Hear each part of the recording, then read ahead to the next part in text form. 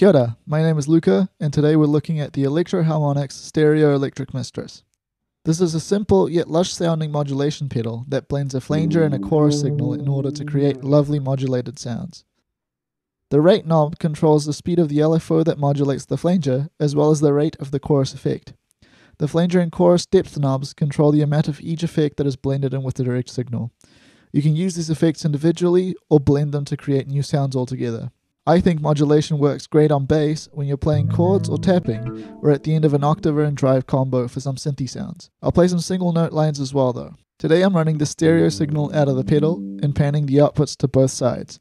While I play, I'll twist the knobs to show what each control sounds like. And for those who care, I'm playing an Ibanez SR1400 with Nordstrand big single pickups.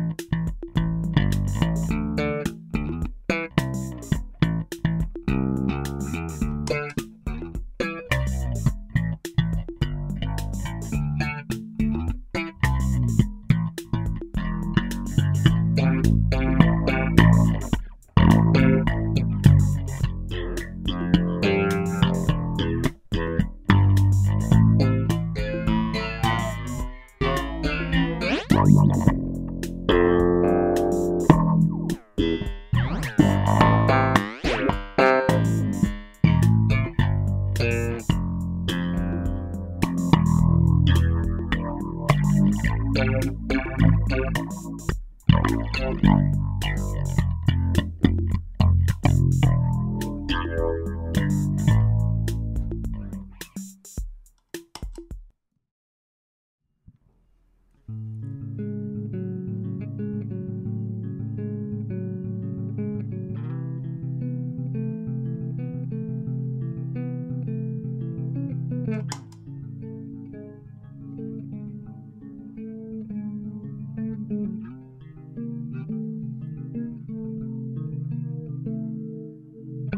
Yeah,